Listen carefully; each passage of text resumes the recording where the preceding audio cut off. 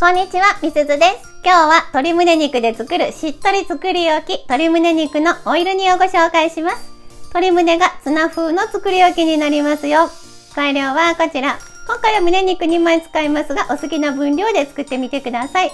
また、使うオリーブオイルですが、えーと、400、分量の 400cc はお鍋のサイズによって変わります。で、半々に半分をピュアオイル、半分をエキストラバージンオイルで作ってあげるとくどくなりにくいですよ。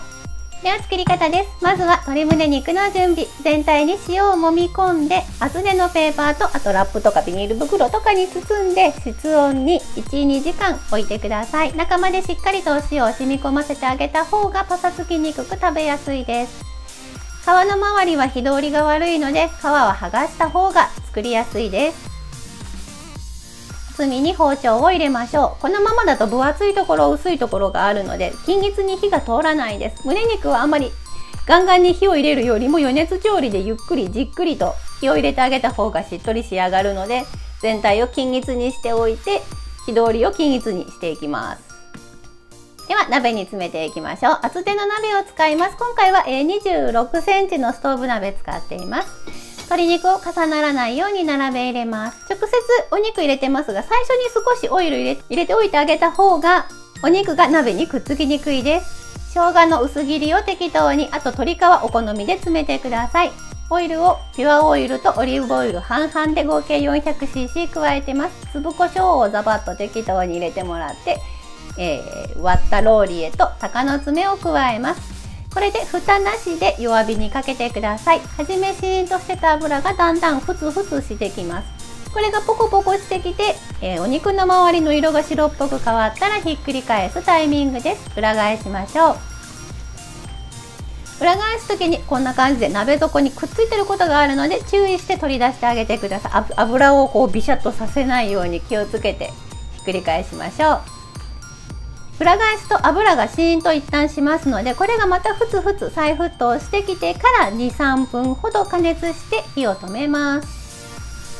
あとは余熱調理していきたいのでこの時点でもうほとんど火が通ってる状態にしてあげたいです。蓋をして火を止めます。このまま完全にお鍋が冷めるまで放置します。だいたい23時間ぐらいですね。一旦確認してみましょう。中まで火が通ってるかどうか赤いところがないかどうか。と不安な方は分厚めのところをパカッと中裂いてもらって中の色が赤くないかどうか確認してもらうといいですよ。大丈夫だったら取り出しましょう。保存容器に詰めます。油の多い保存なのでプラスチック容器よりもガラスとか陶器とか放浪とかの方がいいですよ。お肉を詰めたら、えー、煮込んだオイルも全量加えます。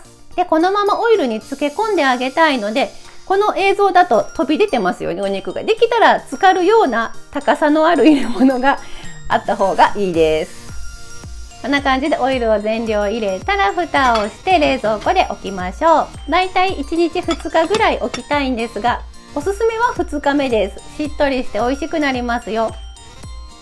あと今回は丸ごとそのまま漬け込んでますが細かく裂いてほんとツナ缶みたいな感じで細かく裂いて漬け込んであげてもいいです。その方がしっかり染み味が染み込みます。これ今、ね、1日目のやつですね。今回はサラダと一緒に盛り付けていきます、えー、刻んだセロリの葉とクレソンそれからプチトマト。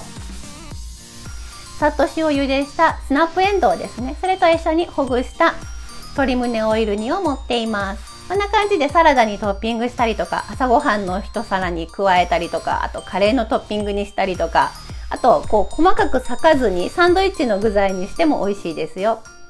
最後に、えー、煮込んだオイルをドレッシング代わりにたらっとかけて胡椒をガリガリしています。とかと粉チーズですね。を振りかけています。こんな感じでいろんなものにアレンジして使えるのでぜひぜひお試しください。鶏胸肉がちょっとさっぱりしていて苦手だわっていう方にもおすすめです。最後まで見てくださりありがとうございました。詳しいレシピブログにも書きますのでそちらも見てくださると嬉しいです。ではまた作ってみたいと思ったらぜひチャンネル登録と高評価をお願いします。